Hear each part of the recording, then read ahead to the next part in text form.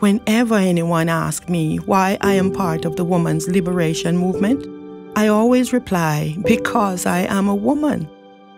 What they've said to me is that since I am a black person, black oppression is the only oppression with which they expect me to concern myself. But for me not to participate in the women's liberation movement would be to deny my womanhood. Rosemary Brown was born in Jamaica into a family of strong, educated women. She came to Canada in 1951 to attend university. As a student at McGill and later the University of British Columbia, Rosemary faced pervasive discrimination. It was through adversity that she found her purpose as a leader against racism and sexism.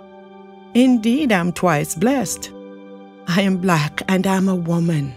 And to be black and female in a society which is both racist and sexist is to be in the unique position of having nowhere to go but up. By the mid 1960s, Rosemary was married, had three children, and three university degrees, including a master's in social work. She was a member of the BC Association for the Advancement of Colored People and appeared regularly as a panelist on the nationally syndicated series People in Conflict. Unless the women's liberation movement supports the struggles of the poor, of the oppressed races, of the old, and other disadvantaged groups in society, it will never achieve its goals.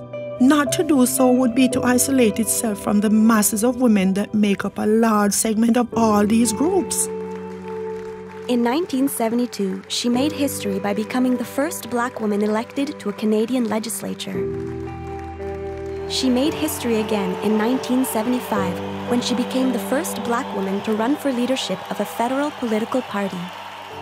Rosemary Brown served as the member of the Legislative Assembly for Vancouver Burrard until 1986. During her 14 year career in provincial politics, she pushed for legislation to prohibit gender based discrimination and worked toward improving services for immigrants, people with disabilities, the elderly, and other marginalized groups.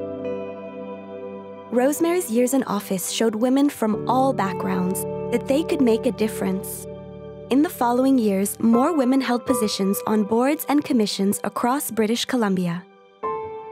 This country, Canada, is beautiful and strong only because of the people of both sexes and of all races.